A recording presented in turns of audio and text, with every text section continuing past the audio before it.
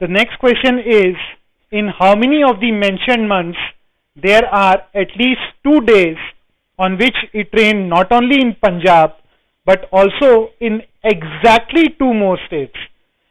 You need to lay stress on the word exactly two more states.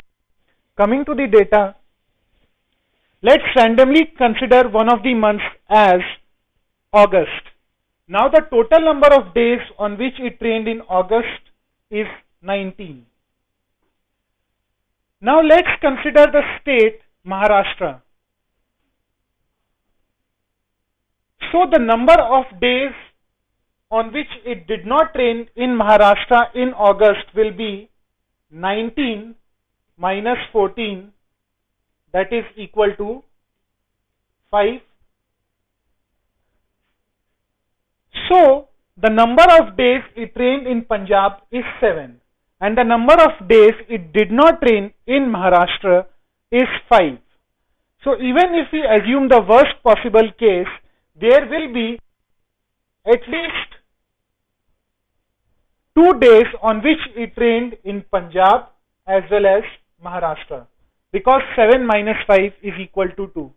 Let's similarly consider the month of Karnataka. The number of days on which it rained in Karnataka in August is 9. So number of days it did not rain will be 19 minus 9 that is equal to 10. So it's quite possible that all of these 7 days are out of these 10 days. Let's now consider the state of Haryana. So the number of days on which it did not rain in Haryana in August will be 19 minus 15 that is equal to 4.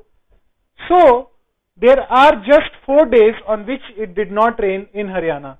So there will be at least three days on which it rained in Punjab and also Haryana.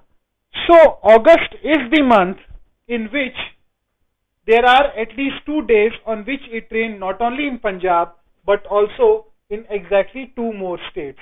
Similarly, if we do this for all the remaining six months, we'll come out with a data such that there are only two months that is August and October for which there are at least two days on which it rained not only in Punjab but also in exactly two more states.